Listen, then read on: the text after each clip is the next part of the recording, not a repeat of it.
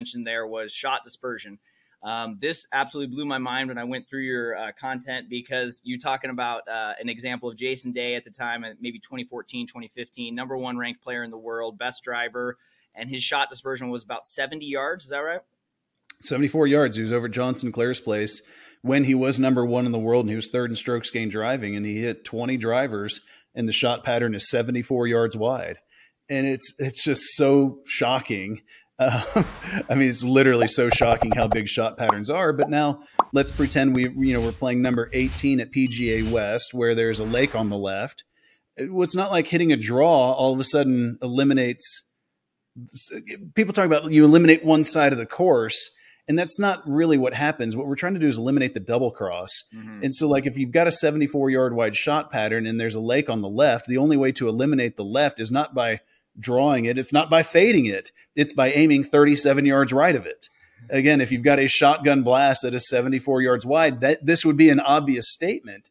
But for whatever reason in golf, we just in, in with a shotgun. I feel like such a Texan always talking about shotguns, but with a shotgun, I know I've got a shotgun blast coming. It's not like I'm like, yeah, and there is a BB right in the middle. I just don't know which one of those BBs is going to be the BB in the middle and almost as importantly, I just don't know which shot's coming next. So it's like you're firing a shotgun, but only one pellet comes out at a time, and you don't know which one is going to come. I know which one you want to come, but you simply don't know. No matter how much you focus, no matter how much you try, you know, a lot of people are always like, sometimes you just got to step up and hit a good shot. I'm like, then why didn't you do that the first 71 holes? Like, it's just not, it's just not how the game works. Unfortunately, we've got to sit back. We've got to pay more attention. We've got to be more disciplined. And, that's again, that's the whole goal.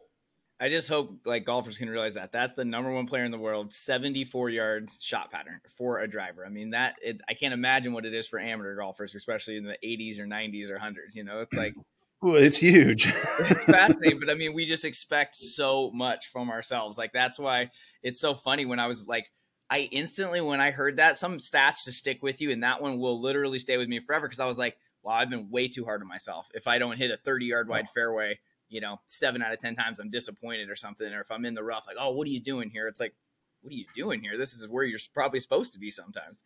Well, and it's where even if you drop back to three wood, you just don't hit a three wood that much straighter than driver. And so it's like, well, I'm just going to put this one in the fairway. Like, again, good luck with that. Like, it's just not how it works. So, yes, you will hit a fairway more often with three wood than driver. I shouldn't say you will, you might. Mm-hmm. Um, some people don't. I mean, I definitely have gotten rid of a three wood and I just have a driver and a mini driver now. I don't even consider carrying a three wood. I can't imagine a scenario where I'll ever carry a three wood again. That's um, interesting. Yeah, I, I, love when people think too. I'm going to hit the three wood to lay up. I'm going to play it safe, but in reality, you you could hit the rough just as easily. Not to mention, you're going to be farther back, which is just going to make it harder to hit it closer to the pin. Well, and that's the deal is that like best case scenario for most people, you're going to hit the fairway five to seven percent more of the time, but hundred percent of the time you're going to be thirty or forty yards further.